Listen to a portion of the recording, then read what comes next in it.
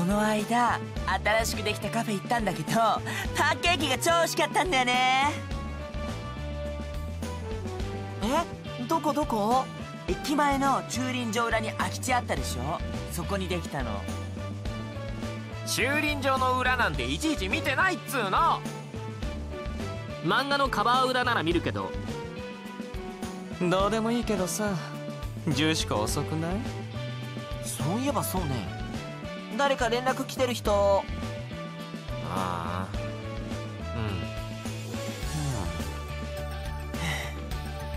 うん。まあそんなことだろうと思ったけど。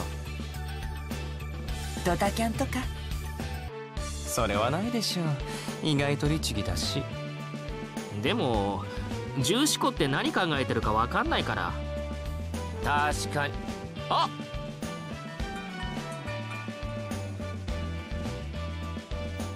ごめん。遅くなっちゃった遅いよジューシコみんな心配してたんだからね。真っ先にドタキャンって言ってた女が何言ってんのよ。これだから見た目ふわふわ系女子は怖いよね。どういう意味？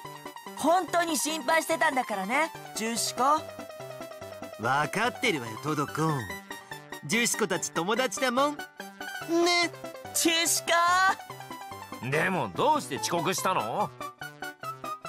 それがさカレピッピとメールしてたら夢中になっちゃって。ん？今カレピッピすっごく大変な時期なんだよね。ジューシコが支えてあげなきゃ的な。え？ねえカレピッピって何？ああ新しいアイドルのユニット名でしょ？闇の化学物質よ。チョロコさっきから声が裏返ってるけどどうしたの？べべ別にどうもしないわよ。とにかくユニット名よ。ユニット名。チョロコもイチコも。本当は知ってるんでしょ？大阪。みんな現実見ようよ。え？知らないの私だけ。何なの教えてよ。彼氏のことよ。はだからカレピッピっていうのは彼氏のことを言うのよ。嘘よ。そんなことあるわけない。嘘だと言ってジューシコまた変なものでも食べたんじゃない？ただの妄想よね。二次元の話よね。乙女ゲーム？なんなら私がおすすめ貸してあげるよやだ。カレピッピは3次元よ。なんならメール見る？ほら。明日のデート楽しみだよ。新しい車で迎えに行くからね。ちょっと私にも見せて。ドライブデート楽しみだね。こいつはマジもんや。ちょっとチョロコ語尾おかしくなってるよ。うっさいわねほっといてなんで怒るの？少なくとも重視子よりは早くフリー卒業できるって思ってた。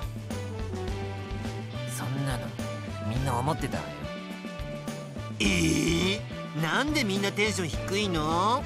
遅れたのはほんとごめんって。遅刻のことについてはもうどうでもいいの。それより彼氏について詳しく教えて。いいわよ。何から聞きたい？名前はね一郎沢 M 第六郎オソマーズってバンドのギターとボーカルやってんだって。はあ？オソマーズ何それ？呪詛？ちょちょチョロコ知らないの？オーソマーズって言ったら今大人気のバンドよ。私第六郎のファンだったのに私も。ミドルネームまでついてる有名人が彼氏とかファンタジーなの？そっか。大ちゃんって有名人だったんだ。だだだだだ大ちゃん！殺す！だってカレピッピなんだもん。そんなのとどうやって出会うのよ？一体どんだけアタックしたの？アタックしたっていうかされちゃったんだよね。それってナンパされたってこと？ちょっと待って。第六郎が十字湖なんかをナンパするはずないじゃない。ほんとよ。このメールが証拠。どれどれ？こんにちは。オソマーズのギターボーカルやってます一郎沢 M 第六郎です。よかったらメル友になってくれないかな？なななメールするうちにね。どんどん意気投合しちゃって。気づいたら恋人みたいな。大底メールどんどん読んでって。オッケー。最近バンド仲間と喧嘩してちょっと昇進中なんだよね。重視子いやハニーハニーが5000円くれたら元気になりそうな気がするな。あちなみに口座はここね。赤塚銀行普通口座14829やだこれガチな口座番号じゃない？文末にいちいちハートがついてる。ハニーとか呼んじゃう人現実にいるんだ。ありがとうハニー。5000円受け取ったよ。すっごく元気になったバンド仲間とも仲直りできたんだ。ハニーのおかげだよ。愛してる。愛して。いちこ!誰かティッシュ!いちこが鼻血吹いた!はいこれ使って。どんどん読むわよ。3万円いつもの口座に振り込んでハニーの第六郎より。3万円受け取ったよ。ハニーは本当にいい子だね早く会いたいな。何なのよ。本当にリア充じゃない。ラブラブじゃない。そうなの。お金振り込んであげると大ちゃんも愛をささやいてくれるの。うふ。バカチロチョロコひどい。友達なんだからお祝いしてくれてもいいじゃない。だって私たちに報告もなしに付き合ってたなんて落ち着いてチョロコ。チョロコの気持ちもわかるけどさ今は重視子を応援してあげようよ。私たち友達でしょ？どうどこあ大ちゃんからメールだ。おそこ携帯返して。はい。えっと大変！どうしたの？大ちゃん事故しちゃったんだって。ええ第六郎大丈夫なの？うん生きてるみたい。そりゃメール打てるなら生きてるでしょ。ちょっとメール見せて。事故っちゃった。本当にごめん。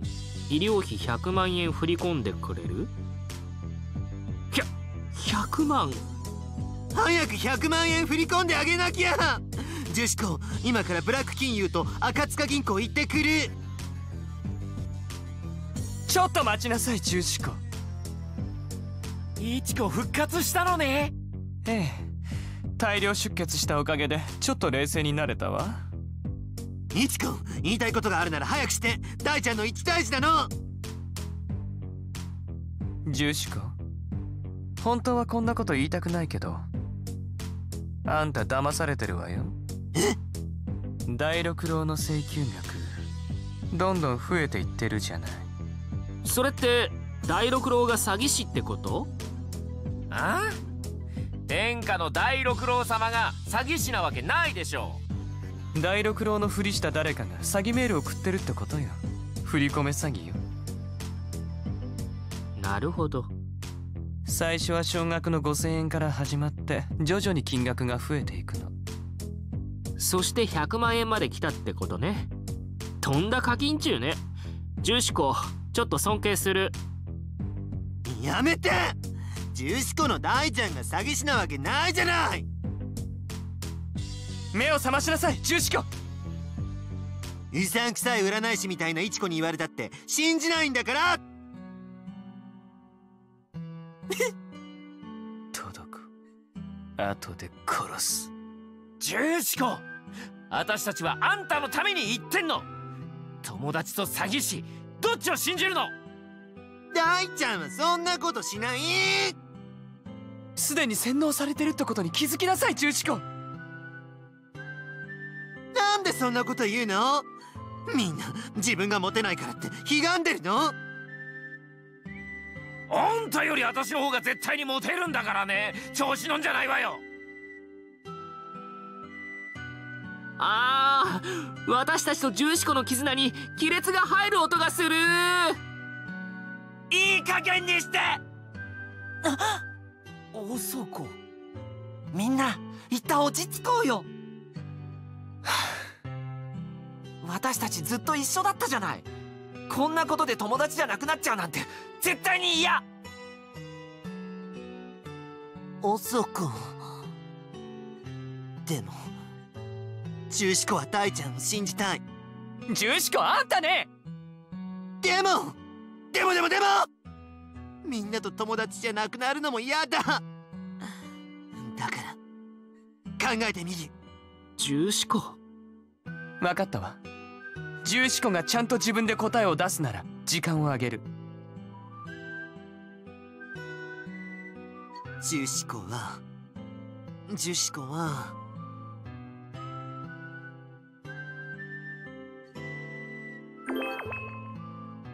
やっぱり騙されてるのね。ほらやっぱり。ちゃんと考えればわかることでしょ？でもこれってずっとお金騙し取られてたってことよね。かわいそうだけどそういうことになるわね。よくある手口よ。乙女心を利用した卑劣なね。好きな男のためなら女は何だってしたくなるもの。でも惚れる男を間違えちゃいけない。のなんだかいちこが眩しい。でもどうしてイチコは詐欺の手口についてそんなに詳しいの？だってこの前カラコが引っかかってたもの。そうなの？ちょっとそれ言わない約束だったじゃない。そうだっけ？そうよ。なんで言っちゃうわけ？ほんとデリカシーないんだから。あんたに言われたくないわよ。女子力のかけらもないくせに。あんただって口臭いじゃない。あんたなんか全身が臭い。二人ともやめて。どっちも臭いんだから。重視子のために喧嘩しないで。別にあんたのために喧嘩してるわけじゃないわよ一番臭いのはあんたでしょ。見た目がもう臭い。見た目が臭いって何よ。っていうかそんな話してるんじゃないの。重視子大ちゃんにけじめをつけるわ。そんなのほっときゃいいじゃない。ダメ。ごめんなさいくらい言わせないと重視子の気が済まない。重視子あんた意外と熱いのね。乙女心を踏みにじった罪の重さを思い知らせてやるわ。凄まじい速さのメール入力。さすがギャルね。もう5通送ってるけどなかなか謝りやがらないわね。まだ二言しか話してないのに5通もメールやり取りしてるあんたたちが恐ろしいわ。あーやまれ重視子頑張って。やだ。私重視子の熱意に感動して泣けてきちゃったんだけど。引くわ。よっしゃ来た重視子ごめんなさい。いただきました見せて。すみません。さよなら。ですって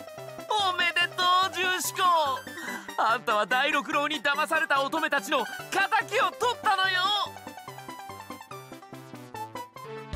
まったく。なんであんなのに引っかかっちゃったんだろ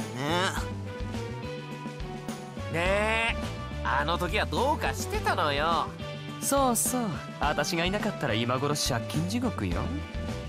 ありがとういちこあんたは重視子たちの救世主よ いくらお金が欲しいって言われたって振り込ませるのは明らかに詐欺よ。愛があれば手渡しするのが当たり前。というわけで私の彼今ピンチだからお金渡してくるわね。じゃあまた明日。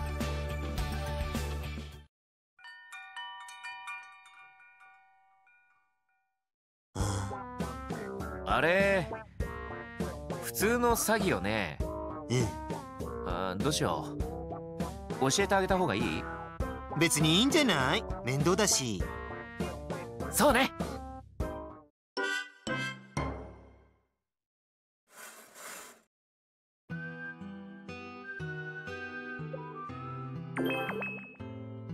大ちゃんに直接聞いてみる。ジュシコまだ大ちゃんを信じたい。ふーん。じゃあ聞いてみれば？でもジュシコ大ちゃんの電話番号知らないんだよね。彼氏なんだよね？どういうこと？だって大ちゃんとは出会いからずっとメールだし。まさか会ったことも？ないよ。ジュシコと大ちゃんは結婚するまで清らかでいようねって約束したんだ。ああうん。え何それ？二次元じゃんえ私があんたを救ってあげる。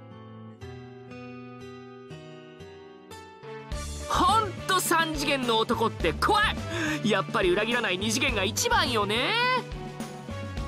ねえジューシコこれ新しく出た乙女ゲーム。ジューシコもやる？えー、マジでいいの？やったイケメンがいっぱい。でしょでしょ。チョロコ。ジュシコチョロコのおかげで救われた。急にどうしたのよ。すっごく感謝してるの。チョロコがアニメとかゲームを紹介してくれてジュシコの世界は変わった。大ちゃんにつけられた心の傷を二次元のイケメンが癒してくれたの。ジューシコ？私こそ同志ができて嬉しいわ。これからも一緒にイベントやグッズ集めに奔走しましょううん。なんか前より借金は増えてるんだけどね。そんなの考えたら負けよなんたって二次元の男は裏切らないんだから。そうだよね。楽しいからいっかさあガチャ回しに行こう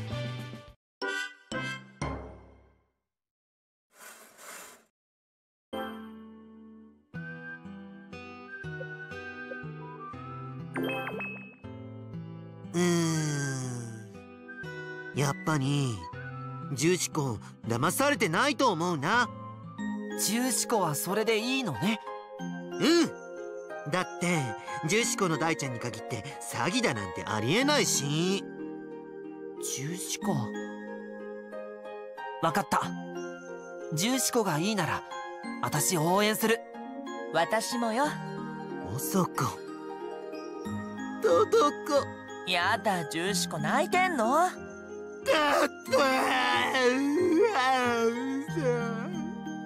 もう重視子ったら 遅くまで泣いてる。あんたたちも年なんじゃない？うっさいわね。あんたも年一緒じゃないの。二人とも重視コのために喧嘩しないでいやだからジューシコのためじゃないし重視コたち。ずっともだからね。ずっとも。ずっともって古くない？じゃあフォーエバー親友大ちゃんとの結婚式には絶対呼ぶから。二人とも来てね。うんご祝儀は出さないけど美味しいご飯食べに行くね。私も。二人ともご祝儀出さないとか超ウケる？もう余興の練習。ありがとね。じゃあ私大ちゃんにお金渡さないといけないから赤塚銀行行ってくるね。了解第六郎によろしくね。いってらっしゃい。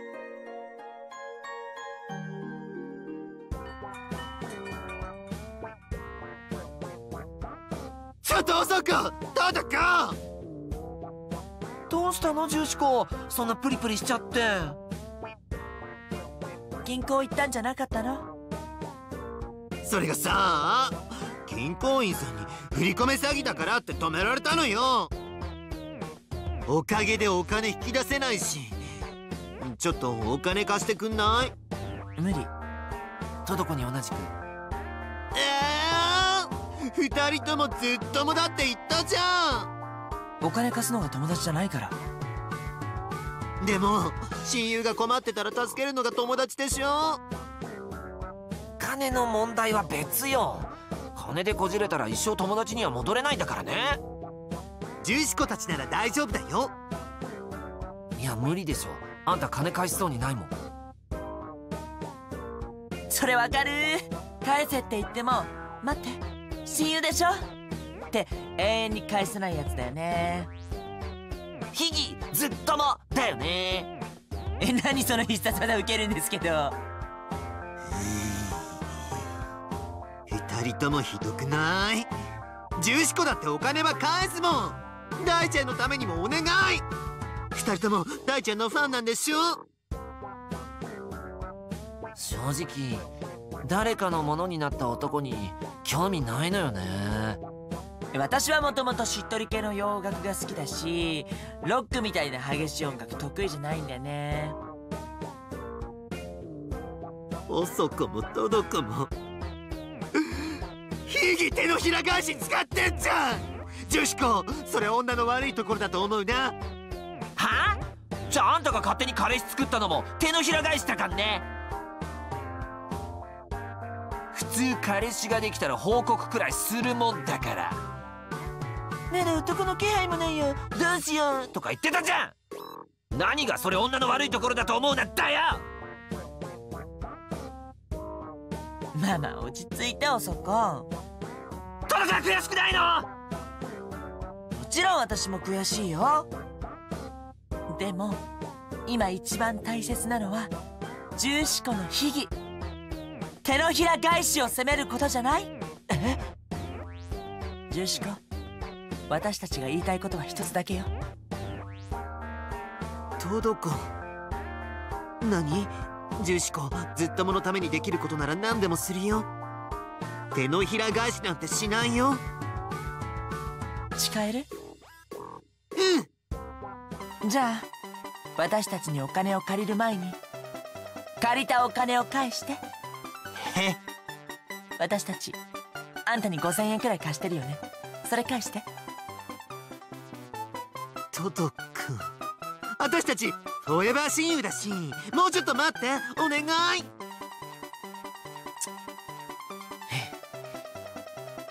ヒヒザカンパ